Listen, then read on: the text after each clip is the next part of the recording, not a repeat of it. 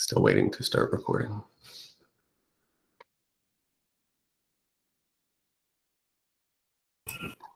My side shows recording. Oh, super. Oh, there we go. Uh, all right. Hi. Uh, welcome to the KCP community meeting, Tuesday, June 15th. Um, we have a couple of uh, a couple of updates. Uh, actually, first, speaking of recording, I wanted to get people's opinions. So I've, I've the last maybe three or four of these, I we did the recording, we post them to YouTube. When I post them to YouTube, I also watch them again at 2x and take quick notes because I'm really bad at taking notes while the meeting is going on. Uh, is that useful to people? Is that is that uh, I'll probably still watch them anyway just to refresh my own brain about what we talked about. But uh, the the note taking or the videos in general. The videos we're definitely going to do the videos no matter what because that's easy and takes no time to do. Um, but the note taking, uh, I will probably rewatch them again at 2x anyway. But that way, uh, if I don't need to take notes while I'm doing that, that would be fine. But if people find those at all useful, I will keep doing that it was definitely useful when I missed one. It, it's a lot quicker to catch up than watch a video at 2x even. Okay. And definitely appreciate I will, it. I will say, and I heard this feedback from others too, like in the first six to nine weeks of something, like there's a lot of context sharing that doesn't always mm. happen in doc form. Like, you know, it's not, there's not a, a commonly accepted context for what the heck something is. Like this happened a lot during early days of Cube, which is like continuous like reinforcement of like here's the things that we're talking about and here's the same things we talked about and here's like that that always does have reinforcing value for getting people into a shared worldview okay uh great i will i will take that feedback and keep doing notes um can I just echo and emphasize a little bit what Clayton said? Right. Yeah. So I tried reading notes. First off, I totally agree with notes. Much better than video. Um, but as Clayton said, you know, the early notes did capture all the early context. Um, I mean, I'm, I suppose that's just gone. But if we could either, you know, maybe try a little harder to get that kind of information into future notes, uh, great. Into into meeting notes or or into like does that, when we have like a non community meeting discussion, try to get those notes down too. Either either both. I mean, my point is, I'm agreeing with Colton, right? Clayton, I'm sorry, that you know, getting this kind of context is important. So, you know, help those of us who weren't there already to get it. Yeah. Yeah. I definitely um uh I would like to do a better job of filing issues to track things. I know like a lot of times we say like, oh yeah, we'll follow up with this later and and uh don't. So I will try to do an even better job of of tracking issues and uh I'll keep doing notes and I'll try to do more notes as we um have them. Um so yeah, uh, that's that's very good feedback. I, I uh, I'm glad to hear that they are useful. I had been doing them for my own use, and uh, if anybody else benefits from them, I will keep doing them. Um, yeah.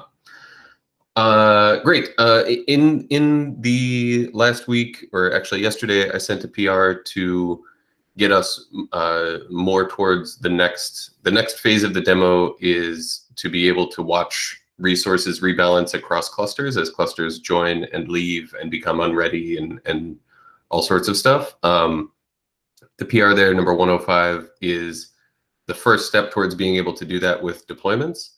Uh, prior to this, the PR just uh, noticed a deployment created child deployments for each cluster it currently saw, and then that was it uh, after this change as new clusters join or become unready or or or whatever happens, um, the deployment controller will see those changes, rebalance, and update existing things, delete deployments as uh, deplete de delete deployment leafs as clusters get deleted, and um, hopefully be able to give us more uh, flashy, fluid demo of, of watching replicas rebalance across existing uh, clusters. Um, this ties into David's work. David's work is also uh, improving the API negotiation um, logic so that a cluster becomes unready if its types are not compatible in the way that we need them to be. Um, this will be one way that we can demonstrate, uh, you know, why have five clusters? One of the clusters suddenly changed what its definition of a deployment was in an incompatible way and as a result, the deployment replicas there left, and you know were were subsumed by the other uh, clusters, but you didn't get a global outage. What you would have gotten before, without this multi-cluster and without this uh, API negoti- negotiation work, is that your your single cluster no longer knows what the deployment is in the way that you need it to, uh, and so everything just sort of bursts into flames and everything dies. Um, now, after this and David's change, they will move gracefully over to OK clusters. And so to, to practice the restating the kind of objectives, so there's kind of three things that are useful here. The idea of a control plane for cube that is reactive, the same way that cube is to machine lifecycle with some reasonably like first stabs. And there's been prior art to this, and we're kind of drawing on some of that, but uh, kind of getting a set of new people's brains around all of the problems uh, so that we're not, uh, you know, we don't have to be experts in the all of the historical problems, but like we're kind of getting ourselves in a in a like Jason and uh, David after this will be in kind of a mental spot where they're like, oh, I thought about these problems enough that now I'm dangerous. And I can expand my danger by going and learning about other projects and where they've failed and all that. And the difference between earlier projects is this is the API variability, which is with control over APIs flexibly, we gain a new tool that lets us move up the food chain in terms of the amount of damage and havoc we can cause. Uh, two, that this would be useful for an end user, which is I would like to just use deployments like I do today and have a net new feature. Uh, this will set us up so that we can then test the hypothesis that how many of the other resources do you need? Do you need replica sets? Do you need pods? What are the ways, like demo three or prototype three phase is like, okay, can we go mitigate the lack of replica sets or pods? And then the third one, I think, is opening the door to uh, what are the understanding all the open questions for the world of APIs can change. Uh, APIs are what really matter in a declarative system. Having good declarative APIs, some of which are going to be the kube resources, some of which are these future. What are the mechanisms and tools that we would need that allow us to have APIs that can be composed into sets for the purposes of being a control plane for everything? So that would be um, that would open the door to like if someone wants to do a 12 factor app, um, and I'm just going to pick on Heroku here. So like, what if Heroku broke their API in an incompatible manner? Or what if you wanted to unify Heroku and Cloud Foundry and Knative behind one 12-factor deployment object that's simpler? Um, what would it mean to have a, a, type, a controller that comes along and is like, oh, I'm, I'm going to go from Knative to, uh, or I'm going to go from Cloud Foundry or uh, Heroku to Knative. Uh, how do I make that API change reasonable at this control plane layer? Maybe the controllers get swapped out, but the API didn't change. What would I have to do? So that's kind of setting up that third phase of what if APIs are fungible? So those kind of the goals of this whole prototype effort. Is that useful for resetting context? I think, I think so. Thank you. Maybe we should, re- maybe, and this is like a good thing too, is like in the prototyping phase, um, we should practice restating what our value is at all times uh, so that we're testing the hypothesis that what we're building is actually valuable. I'll, I'll, say I'm still a little bit confused, unsure that I understand what you mean about API fungibility. I think I heard you talk about um, something that was uh, centrally engineered and kept coherent across the clusters. And earlier I saw discussions of, well, what if the different target clusters had different versions of some APIs? That, that might be interesting. Um, uh, I mean, the, the, the demo I plan to do just we as a second step of this meeting. Uh, I started working on on you know a prototype of of exactly this. I mean, uh, when connected to two, for example, two physical clusters and pulling the uh, API definition of deployments, for example, for each physical cluster. And then it happens that you know you have pulled the first definition, then it's been um, accepted as the you know um, API of development of deployments in your KCP logical cluster. And then when a second physical cluster comes in, it's not the same, and if it's not compatible, then we would check if the second API for deployments is compatible. If it's not, if we agree, you know, taking the LCD of both models and, and working with that in our uh, logical cluster, or if it if we don't agree taking the LCD of this, then one of the of both physical cluster would be marked as not supporting this API. So there is some you know negotiation here that has to occur so that we are sure that everything that we accepted in, in as APIs inside the logical cluster um, is consistent. And, and if there is any change that breaks this consistency, that then we would be, I mean, admin typically would be would have the ability to to know that before, uh, you know, possibly forcing this or changing the API. Yeah, and Mike, like uh, like why are APIs important? So if you're building a declarative API system that's unmoored from physical infrastructure, um, you might have multiple uh, agents acting on it. Their life cycle and their API evolution is managed, right? Like so, a kube cluster, um, kube guarantees that we never regress or break APIs, which means all APIs are forward compatible. But occasionally we deprecate or remove beta APIs. CRDs have a number of API evolution gaps thinking about this is even though this isn't a short-term goal, the setup for this is thinking about long-term evolution of APIs. Um, how do you manage the software lifecycle of declarative APIs over a long period of time as a control plane? Because the whole point of a control plane is um, you don't accidentally screw up and then delete everything in the node universe because you made a one-off typo error that blew up your entire cloud infrastructure. So depending on what the problem space is, um, we'll go in different directions, but reinforcing the APIs and their evolution is a key part of a long-term value proposition of something that's not a physical cluster. Many people today moving across clusters have this problem, and that's where we're pragmatically starting. But the longer term goal is just, uh, you know, how would you help ensure that APIs don't regress over time? And I think even a, even a um uh, a thing that I'm excited for David to build, even though he doesn't know he's building it yet, is a a thing a, a tool that you can plug into CI to see a CRD definition on the left and on the right and say that this will be a compatible change. You are not introducing a breaking change. um, that is like outside. We should also operationalize that and run it in the in the reconciler and make it be something that we detect when it when it hits the cluster.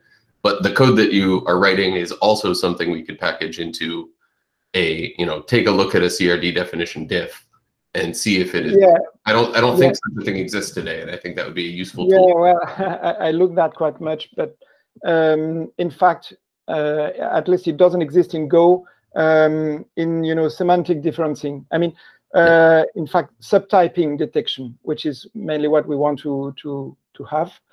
And so I started something as as a library that is then used in in the corresponding uh, controller that I, I've been working on.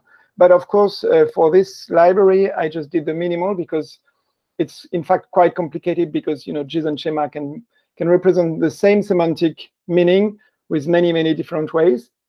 Uh, so for now, I left a number of things just you know unimplemented, but you get an error if there are some changes that we cannot detect uh, if they are compatible or not. But mainly, the main points, uh, hopefully, in the, the main types in Kubernetes, do not use those type of those you know advanced JSON schema stuff like uh, any of or uh, you know cumbersome uh, combinations of those. So for now, I mean, it should at least cover the the, the typical uh, Kubernetes uh, objects. But then it would be very easy to just because the the hover the, all the cases are there that they are just not implemented. Then it would be very easy for other people to contribute and complete that. And of course, it could be used also for even for use cases with CRDs.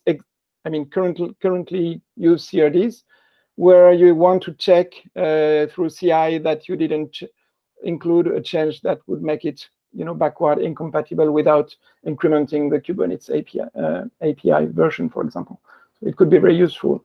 And I also took the approach of limiting this to um, structural schemas, which makes it more, I mean, much simpler than the general case, of course, because structural schemas uh, cut a number of, of you know, JSON schema weirdness that you can have with, you know, even properties being defined inside constraints and stuff like that, which hopefully doesn't exist in structural schemas.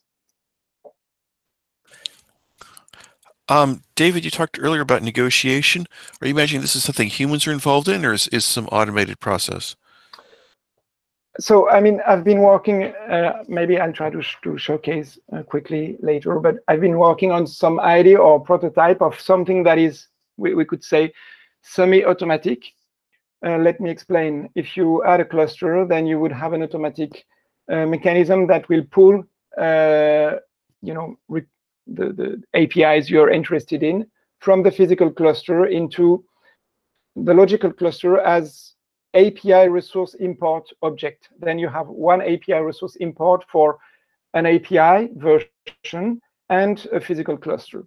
And it contains the schema mainly and the definition, you know, everything that you typically have in a CRD version. And then um, the negotiation will occur uh, if you if you have of, course only one API resource import, then it will create one negotiated API resource, which is a, a distinct object with the same schema. But then if you have two, if you add a second uh, API resource import from another physical cluster, then it will uh, compare the schema of this second import of the same API with the schema uh, that you have on your negotiated API um, uh, resource object which is uh, which we have you have only one of uh, in in for a, a, given logical cluster, and then um, the semi-automatic part of so all this is automatic, but then the, the semi-automatic part of it is that you can uh, in your negotiated API um, resource uh, resource API object. Um, you can you have an um, I mean I added a, a, field which is publish or not because what you, you may want to you know to have, let's say, 10 physical cluster join, which do not have the same uh, Kubernetes, you mean the same version of your API, the same schema exactly. You, you may want those 10 physical clusters to join your uh, physical cluster before accepting or publishing the, the, the, the API that results from the least common denominator of all these you know, APIs coming this, all these versions of the API coming from physical clusters. So by default, it creates a negotiated uh, API resource object, but which is not published. But of course, it's just a question. We could just decide to publish it automatically. And then when you publish it, it, it would create the CRD uh, in your logical cluster that corresponds to the least common denominator of all the corresponding APIs imported from your physical clusters. But then if you have a, an uh, 11th uh, cluster, as soon as it's published as a CRD in your logical cluster, if you had a, an add an 11th um, physical cluster whose API for the same you know API version is not compatible with the existing LCD, then you would not be able to change it. You would just get an, a status with an error message conflict on your API resource import. And then that means that you know even you could you know have a UI where you can see what are all my imports for from for these logical clusters and those with would which are you know conflicting and those with which are compatible and published in my logical cluster. So with these two uh, just two additional objects you can have a automate as much as possible but still keep provide you know um, um, freedom for for uh, checking the impacts and and acting uh, accordingly. Does it does it make sense? Does it answer your question? I, I think I got some idea of what you what you described. Thank you. I, I, would just maybe do the, the idea is that as, as much as as much as we can do automatically, we will try to do automatically. But when it breaks down and needs a human to kick it into working again, a human can kick it into working again. Uh, and hopefully, when a human has ruled, uh, a new uh, a new joiner doesn't un doesn't unfix it, right? Uh, the, yeah, exactly. Yeah, that's the, rule, that's the, the satisfying part, right? Because yeah. what you mean is basically someone is going to decide, okay, I've kind of finished growing now, and and no further growth yeah, or exactly. diversity is is really supported. Um, yeah. That's uh, okay as a starting point. I think we're going to need to go beyond that at some point. Yeah, probably. And there is something that I didn't mention is um, that you can enforce uh, the, the schema, in fact, the CRD. Uh, if you add a CRD yourself in your logical cluster, let me say I would add the deployment CRD that I extracted or built myself in your logic in my logical cluster, then that means that the negotiated um, API resource, yeah, API resource for for this API is enforced to the to the schema of the CRD that I added manually. So that means that in such a case, whatever you add, whatever API comes from um, physical clusters would never impact uh, your your uh, API, you know, in your logical cluster because it has been enforced by you or an admin explicitly adding a CRD for this type. And in such a case, it would still continue doing automatically the work, but only the, the check work. You know, you have no, if you enforced the schema of the of the API yourself by adding a CRD in your logical cluster, then the only thing that occurs when you add a physical cluster with this API is compatibility check and setting the status on the API import object. So you still have the way to the ability to enforce or to bring them, you know, iteratively until you decide you publish the corresponding API um, externally in your logical cluster.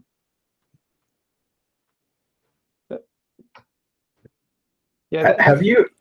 Uh, just a quick question. Have you prototyped any of this schema reconciliation with with schemata of any complexity yet? Because it sounds uh, impossible to me. Like it yeah. sounds just frigging impossible to me. So I'm like curious whether this has actually been tried yet. Well, I, am doing that currently on on deployments, but yeah, I mean, I mean, let let, let me put Actually, it way. So it'd be useful, Eric. Why do you think it's impossible? What parts of it that are most impossible? This the least common denominator thing, um, and, and maybe I'm maybe I'm just you know misunderstanding the, the concept, but like you're not talking about taking v1 of a of a CRD and v2 of a CRD. V1 so, no, with yeah. the same version. V1 and okay. v2. So like uh, so there's uh, syntactic changes. So like changing the name of a column, right? and there's compatible schema changes. So like let's talk like databases, right? You have a yeah. schema and a table, you can add a column. What do you yeah. have to do if you have to add a column? You have to provide a default.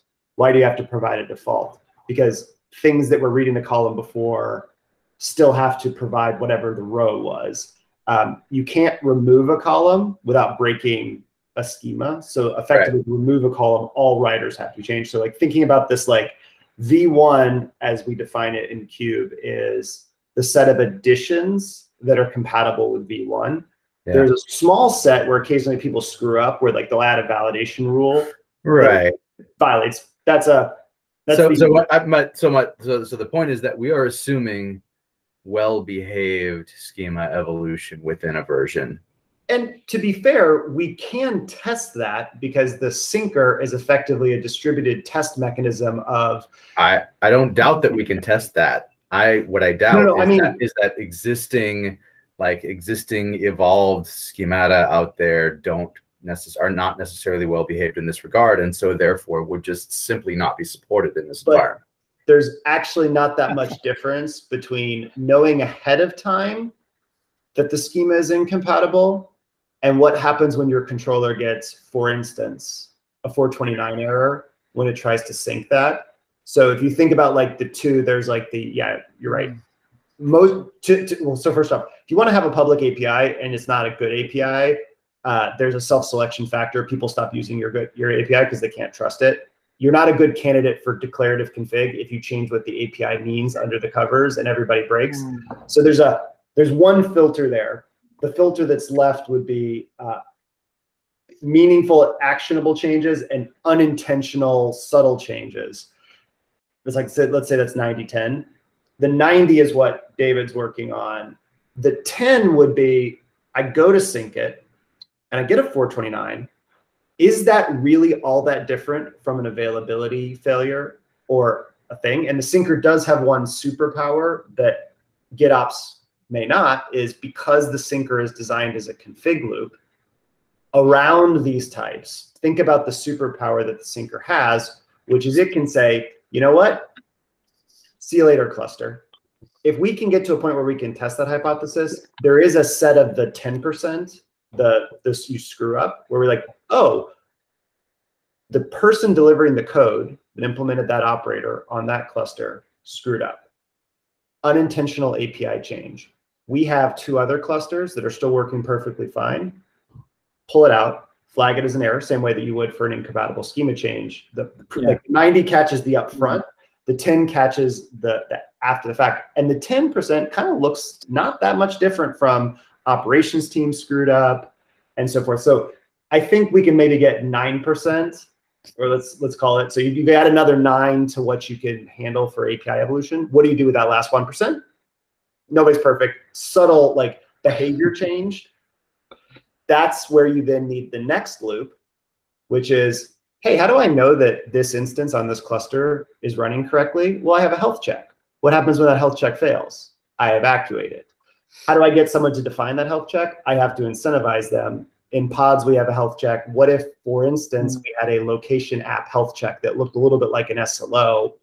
And when that SLO fails on one of the three clusters, we say, oh, one of our sensors has told us the cluster that just happened, you know what? We've got extra capacity. Let's go. And again, these are like three successive systems, but like at the meta mm. level, yeah. they're systems we do not have. And they're systems that could potentially be generally useful in theory. And that's how you go from one nine to two nines to three nines in this particular domain. Will we get there? I don't know. But like, can you see that progression? That's kind of the thought process. Right, where yep. each order of magnitude of improvement is actually an order of magnitude harder to implement. It's a new also. it's a new technological loop. Now the best outcome would be we we get to the prototype stage, we test this out, we find like, you know, hey, like actually if we could convince people to write deployment level health checks and we could fit that into the system, that's generally useful even on a single cube cluster. No doubt. And so like how would we work through that? We don't know yet, but like it opens the door for that and that uh, a cluster is a faded uh, life cycle uh, failure domain. In theory, we're working around a cluster as a failure domain, but an, a set of APIs and a set of software is also failure domain. Having two failure domains, if we can layer them mm. correctly, could get us that next level up.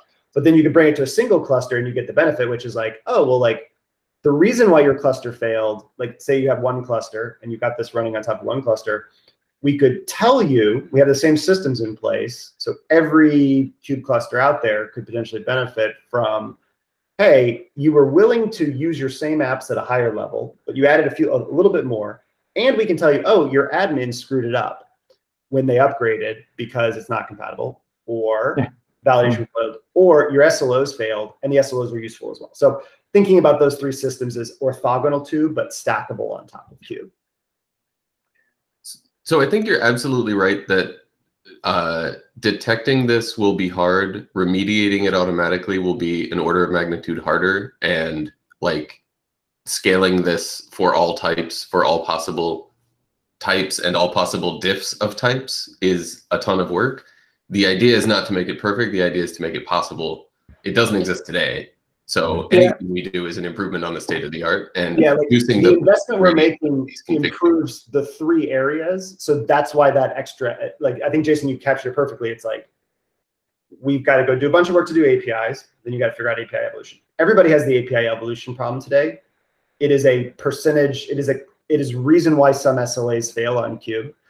Then the next level up is single cluster failure or correlated failure domains. That's another nine on the Cube reliability or, or just general teams on top of Cube reliability. And hmm. then the, the movement, if you can get the movement in, you actually give a solution to both of those problems, but you've also added in a new layer that you can then use even in the apps. So it's like, we're looking for, we're gonna put a bunch of investment in and get three benefits. The, the Venn diagram, hopefully, and this is why we're prototyping, overlaps. Yeah, and so, I think I think that's why I'm excited that the uh, that the code to detect it at all is is new uh, exciting experimental code that if it works we don't we can give it to people when they are making prs on their code right like if if we can detect yeah. it we can detect it hours days months before they ever roll it out mm. And when they roll it out if we if that's the only time we've detected it so that's the use case that I wanted to that I was kind of coming at this from was that I'm thinking of this in terms of using this setup to do rapid API development mm-hmm. where I'm going to make mistakes. I'm going to oh, make yeah. API mistakes. And I want to be able to still, like, I want that not to like implode the whole thing on me. Right. right. But I guess if I'm using it correctly, if I only roll out my latest PR to one logical cluster, watch that guy blow up and decide, oh, that change sucked and revert it or fix it or whatever, right? Yeah. That's then that's my model, right? And then yes. and then to Mike's question earlier about like there's like the you're looking at the underlying clusters and summarizing them in a control plane. You just brought up, I think, the other loop, which is I'm rolling out changes at the higher level. How would I roll it out? Well, for instance, what if I created a staging logical cluster that had the new version of my API, and I have controllers running on that new API, and I can test that that correctly deploys to the underlying clusters. The same mm-hmm. tool that might work at a, at a controller running on the underlying cluster or in a single node case or on kind or whatever also could work at the control plane level. So in theory, we have a tool that can help us do controller evolution or, and, and like controller is like a stand-in, but like you could say, what do most people doing iterative development on APIs build? You know, they have schema migration tools and all that. How do they test in the world? They deploy it. It runs isolated. It has no dependencies. But how would you test as an operations team or infrastructure or app mm-hmm. infra the meta stuff that runs the other stuff is you want to be able to use those tools and bring them in, but also have the environment be amenable to um, like I could kind of you could see look at logical clusters and APIs being exposed into them as a form of feature gating, which is like how would you roll out a change to tens of thousands of applications by evolving your API. You want to do, you know, some form of feature gating. You want to do some first stage. As we start playing around with this, can we use those tools that we're thinking about in that novel way, like including them in a logical cluster that you can stand up and run? And you're like, well, I can use all the other parts because all those guys don't care about the one bit of difference. But the only difference about this logical cluster, I've got like a, say I've got a thousand logical clusters and 99 of 999 of them are running um, the operator integration. I can test the new one. All the other APIs from all the other logical clusters or all the other controllers could be fitting in, but I've only changed that one API and then I filtered out the other controller from accessing it, thinking about how we get there. And like we, we this is basically a problem that tools like OLM um, and other like controller management lifecycle things is most people don't have tools that let them work with this. I'm not sure our goal is going to be like in the short run deliver all these tools, but starting to think about well, you know, if, if you want to be the declarative API for everything and you want to have these declarative APIs, what are the tools that help you roll out new changes to declarative APIs? Oh, we have a pattern and process that lets you roll out new API changes. Uh, so Clayton, yeah. let me just make sure I understand test my understanding of what you're talking about. When you talk about logical clusters, we're talking about uh, another KCP hub. So you talk about a thousand logical clusters. that are running over the same set of physical clusters. So you're talking about a, a thousand KCP hubs all talking to the same target or physical clusters?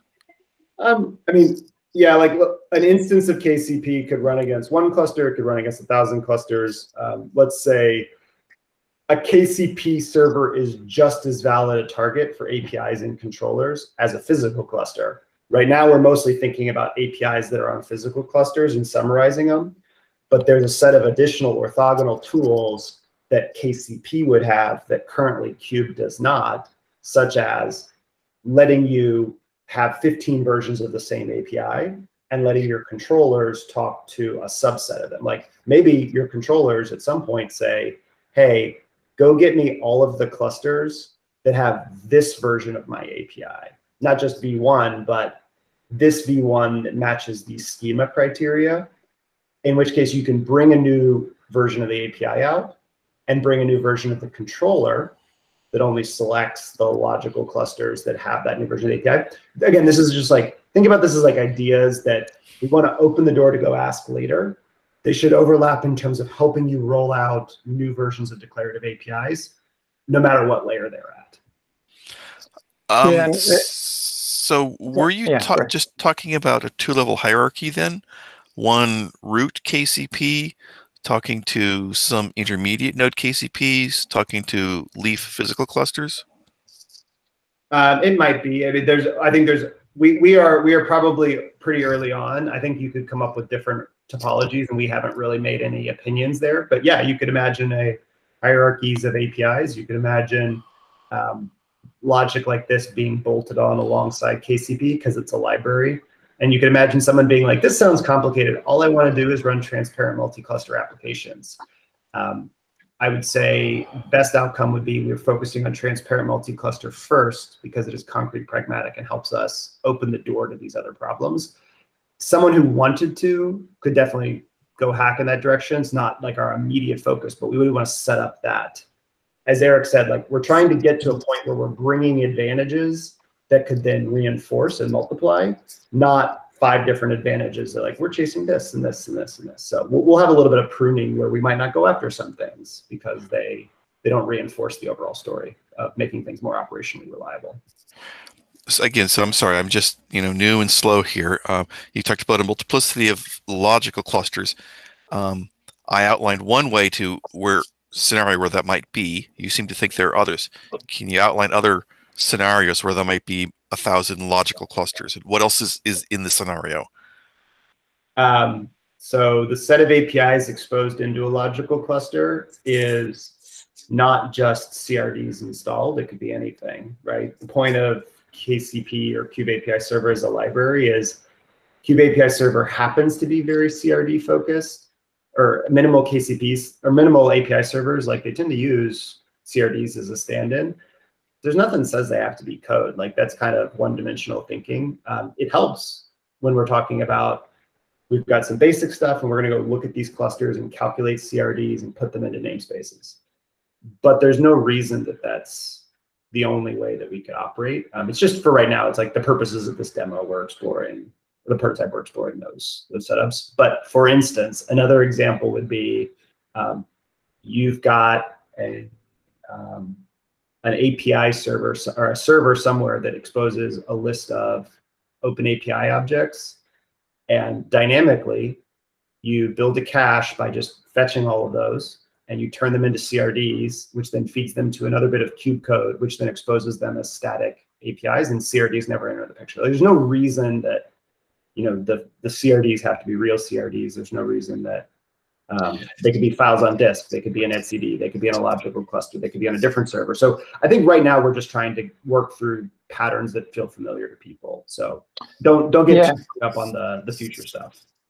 Yeah, and clearly uh, we are we are trying to use what we have in Kube because uh, as as many of you know, I assume uh, CRDs are quite are you know quite very tied to how Kubernetes is, is defined. I mean, so and API API service and CRDs and CRD controllers are quite deep into into kube, kube code. So I mean, using CRDs to CRD, let's say machinery, to import APIs and make them available in in KCP uh, instance is obviously, um, I mean, the most straightforward way uh, until now.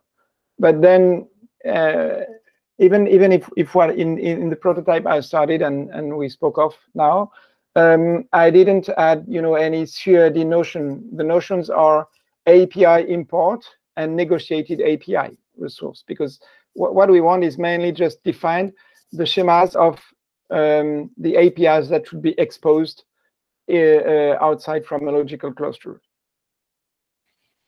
So I'm really confused. I'm sorry. Like this is again some basic context setting. Um, I, I guess my problem, uh, Clayton, uh, I, I didn't clearly express the depth of my confusion. I wasn't trying to go to the future. I was trying to understand your thoughts about the present. Um, I apparently don't understand what a logical cluster is. Um, I think I've, and I don't fully understand what David said, how that's not talking about CRDs. Um, I kind of understand the idea of a KCP as a a hub that talks to multiple physical clusters. Um, and if logical cluster doesn't mean hub or physical cluster, I'm not clear on what it means. No, sorry. So, okay. So uh, KCP is like a Kube API server. So that's all it is. Stripped out a bunch of the other Kube crap, right? So start with a Kube API server. Now add the idea that if you set a certain request header, um, the Kube API server that was saying like, hey, I looked at etcd and I looked at all the objects in etcd and here's all the objects in etcd that are under this key. Instead, added a prefix to that that was the name of a logical cluster. And the name of the logical cluster is foo. So instead of getting slash in etcd, instead of getting like slash um, slash pods, uh, return all pods, everything under the slash pods key, and then the Kube API server interprets that into pods in different namespaces where namespace is another key segment. So like pod slash foo or pod slash bar is all pods in namespace bar.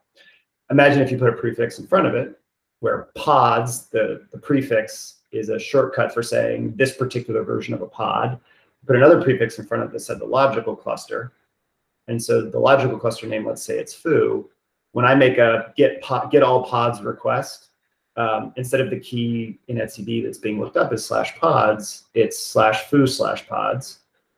And then if I wanted to get all pods across all logical clusters, someone could, again, set a request header or something like this completely arbitrary that says like star.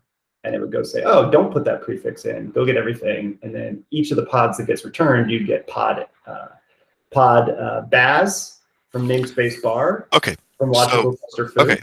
So logic cluster is then uh, okay. So it's just another level of namespace mechanism within the hub. Right, and, and the implementation of that is based on an etcd. But you could also imagine an approach where there's a thousand etcds, and each logical cluster points to one etcd, or some you know something in between um, where there's just a mapping of like, hey, if you come in with logical cluster foo, go talk to this etcd with this prefix, and then um, how logical clusters are created, like the the policies and all that. Just treat those as completely undefined. It's just a mechanism. But to Cube's perspective, Cube's going to serve for a given cluster an API endpoint that says, here's all the open API objects, here's all the resources. Hacking that is effectively what the logical cluster enables, which is each logical cluster could expose a different set of Cube APIs and CRDs. So if you create a CRD in a logical cluster, the bit of code in Kube that's like, here's the open API. This is what David's already done. The API document for logical cluster foo would have the CRDs that kind of get inherited from some, or the, the resources that get inherited from everywhere, the CRDs that get inherited from a, logic, a different logical cluster, and the CRD that's in this logical cluster are combined and composited together what David's working on is effectively something that goes and helps create some of those CRD objects. So the end result to a consumer looks like the union slash intersection of, you know, if you have two different real clusters, go get their objects, turn them into CRDs, and then surface them out through a logical cluster. So to an end user looking at that logical cluster, they're like, well, I got a pod. The set of fields in that pod are calculated by David as the union of the pods on each individual cluster. Uh, union, you mean, or yeah, or LCD? LCD. Yeah. Yeah,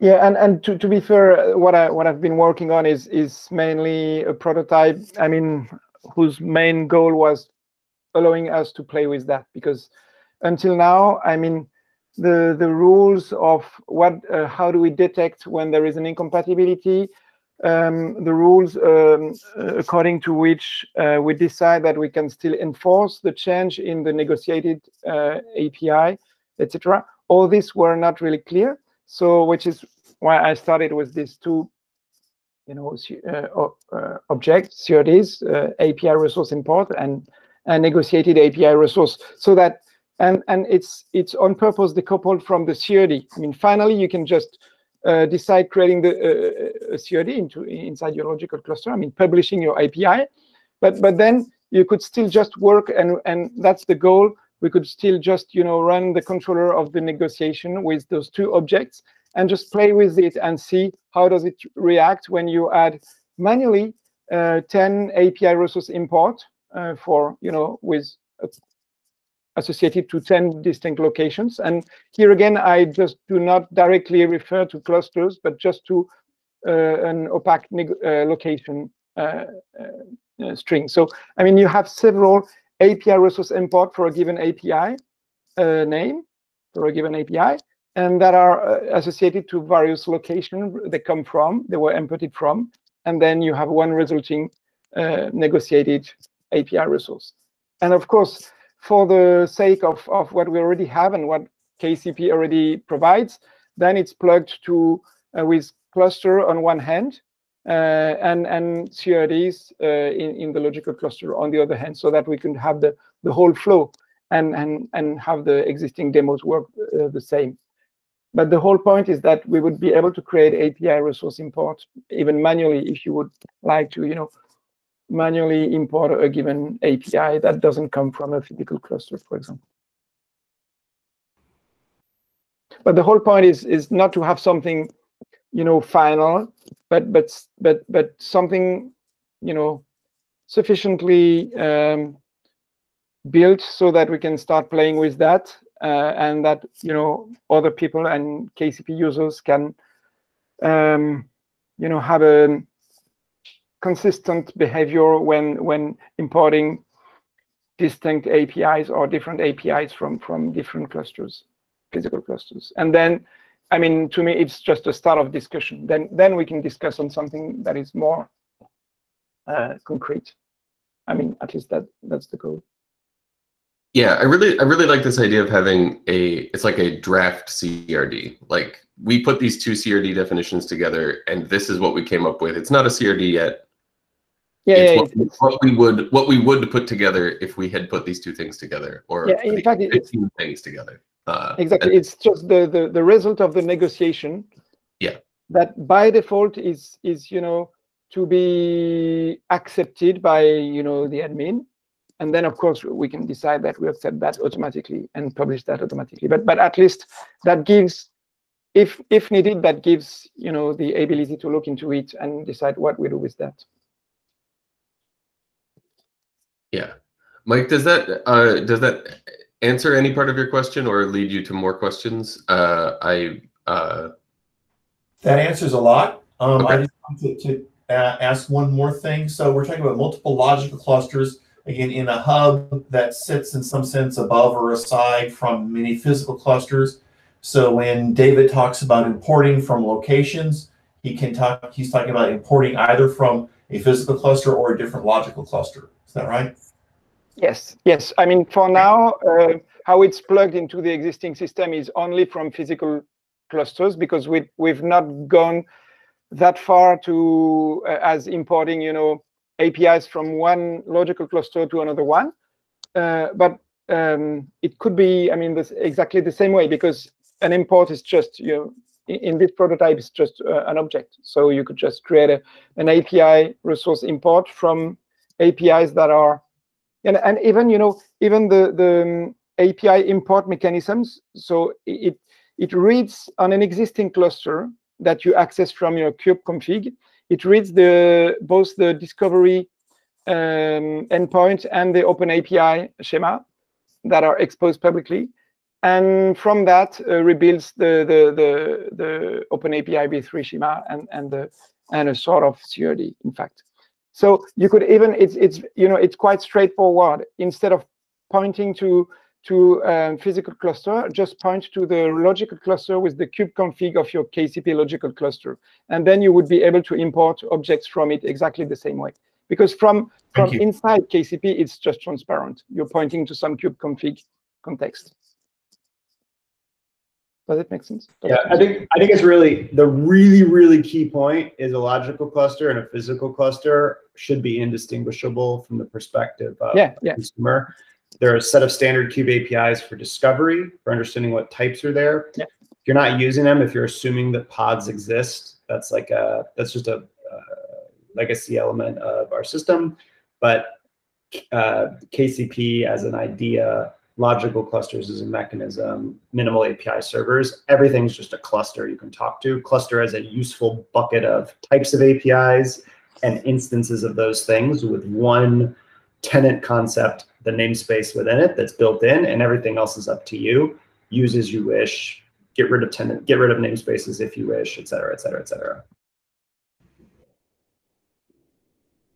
Yeah, I think a lot of these fall into the the bucket of uh, graduating existing concepts to the next level. Like CRDs are currently cluster scoped. They're still going to be cluster scoped. We just need a concept of something larger than a, you know, a, a we've been trying, we've been grasping for a word for what is not a cluster, but. Uh, and honestly, like this, um, so there's like a thread going on right now that like cuts right to the heart of the challenges with this in Cube. Like CRDs aren't feature complete compared to code. And so today you make a trade-off yeah. between a general purpose but limited CRD, which helps because yes. everything kind of behaves the same, or you use a built-in that gives you all the power and flexibility, and not all the cube types can work well as built-ins because of validation and other rules. Ideally, as a project, we converge those. What are the mechanisms that make converging easier? Um, it might actually be at the end of the day that like CRDs get dramatically improved in Cube, and it gets easier to sprinkle code among them or tie it. We're not there yet, and probably won't be for a while, but a lot of this work kind of opens the door for like, well, if we only had to use CRDs for internal types, where are the gaps? We see those like almost immediately. David fixed a bunch of them. Um, and those trade-offs get pushed back, which is like, okay, well, like, what do we really need to go be able to run a, uh, an awesome API server? Well, I need code at a meta level, like webhooks. Um, webhooks suck operationally. Could we improve webhooks? So like, this is stuff we talked about in previous meetings and all that. But the idea, Mike, as much as possible, is um, find overlapping areas where Cube itself can be improved. If CRDs don't work well, how do we do better at, at uh, hmm. implementing them? Yeah, and, and maybe I would add that that the implement add to that, sorry, that the implementation currently of the prototype I started working on is is using, you know, controllers completely, so completely static. When you add a new API resource import, it would, you know, recalculate the LCD and the compatibility because everything uh, CRD-wise on Kubernetes is based on controllers and, and is done upfront for now. So, I mean, uh, if we want to have something without rebuilding the whole, you know, uh, stuff, then we have to cope with that. But in the future, of course, as Clayton already told several times, even CRDs, I mean, even, I mean, resulting schemas for for API resources could be calculated on the fly or merged on the fly or cached or in a way that is less upfront and you know static uh, than than controllers. And so obviously the, the, the current work also would would change in in such a situation and and become something much more you know dynamic. But but for now it seems that the, the the simplest way to do that is just to you know have two two new type of objects and then controllers that that that do the the compatibility check and LCD building.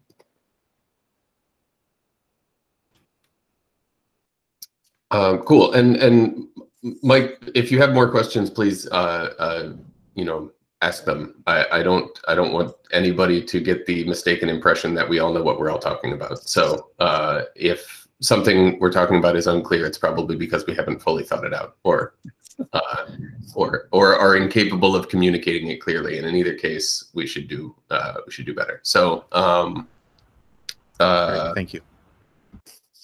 Yeah. Uh, uh, great. Uh, on that, I mean, we have five minutes left. Uh, it sounds like David is working on uh, this negotiation stuff, and we'll have uh, something to show soon. I'll have rebalancing in response to cluster changes soon. Uh, after deployments, I was going to tackle daemon sets uh, and I am uh, I am trying to commit myself to going through some of the motions on um, what are the real obstacles to uh, if we only had daemon sets but didn't sync pods? Like if pods didn't come back? Because like i think that's the fundamental like scale challenge is if we're delegating can we still give you an operational experience? Um, was exploring that yesterday with a few people uh, as we were talking about like security models and what we would do. So i'll hopefully try to put that under as just more exploration doc work you mean um, the, the experience of someone who's talking to a KCP, giving it daemon sets and having those propagate down to clusters, but I, I can see the aggregated status of that daemon set at the KCP level, but I can't see any of the pods. Yeah, yeah, like the default state right now is we have a tool where we can summarize the status. What's the experiential gap? So I'm going to spend some time on that, exploring like mentally and try to get something either in a doc or like some discussion because that will lead to like while you're kind of going at pragmatic sync, Jason, this will be the what are the things that aren't synced that paper over the experience loss for someone who comes in and like I created a deployment. Where the heck are my replica sets? How do I view pod logs? So going through a couple of those aspects and listing out the options and generating some input that'll be for third round of prototype. So is it related to you know defining some settings for all the type of resources and and pass through rules? Yeah, like yeah, but it, just like a really, really, really insanely high level, there'd be like pass through where it's like, hey, we've got two locations in this namespace. When you call the pod namespace call, we go make a pod namespace call to the two clusters, hmm. summarize them, and return them in a single list. Why would that fail? Well, first off, what if the names collide? Um, then there's other aspects like what if you wanted to create a pod because the top layer, you're like, I want to just go create a pod to go run something on a cluster. I don't care where it is. What if you choose the same name? So thinking through some of these cases, coming up with examples, mm. counter examples. Um, the I to me, it's like uh, this is surfacing. So we're kind of in the pragmatic, like we think we can do CRD negotiation. We think we can do logical cluster tenancy. We think we can do policy under logical clusters. And I think we can do an amazing amount of things with APIs. We think we can do uh, syncing and modification. What we don't know whether we can do is paper in all the rest of the gaps so that yeah. someone who creates a deployment gets the experience they want. So I'm just going to do some prep uh, pathfinding there and then hopefully have something that someone can then go prototype down or we can have some discussions. It's probably a little bit more of a discussion because I think we're have to explore the idea space. Yeah, even even uh, related to that is right now when you give KCP a deployment, it will go create other deployments for you, right? Uh, and we might not want to show you those. We might only want to show you the deployment you created with aggregated status of these fake, you know, behind the scenes deployments we created for you. But um, not even hiding the pods under those deployments, but hiding the shards of those deployments. Um, yeah, or or even even uh, concluding whether we really really sorry whether we really need to create them because as we said we could also mix the syncer and the yeah. and the splitter i mean just sync while doing some changes on the fly. Yeah. So and there's there's other angles too which is yeah if we could surface back info about the individual shards that's a tool that kubefed never had. So kubefed was full object doing syncing uh, doing complex things for each syncing, uh, trying to open up the possibilities of like how would we go in a different direction and try to address the challenges that KubeFed had, circling back to um, maybe this is intractable because like there's still the percentage chance that we're like, well, we can do all these other things, but we can't actually make transparent multi-cluster work. Maybe we should rethink. Um, yeah, actually, I'm interested in edge, and I think a lot of edge scenarios you don't actually want it to be transparent anyway. Absolutely, yeah, and and right. that was brought up did we talk about that in the last meeting, Jason? Yeah, well, we it, it's a recurring topic that transparent is you know only mostly transparent. Uh, transparent right now is like could you co-opt the entire Cube ecosystem so that everybody who's just using Cube today would just as well prefer to do this? That's like a uh, uh, growth hack or a uh, yeah. collaboration hack or a community hack, which is like how do you make it matter to the biggest community possible? But you're right, Mike. Like all of those long tail use cases uh, whether they're long tail in scale, long tail in specialization, long tail in library.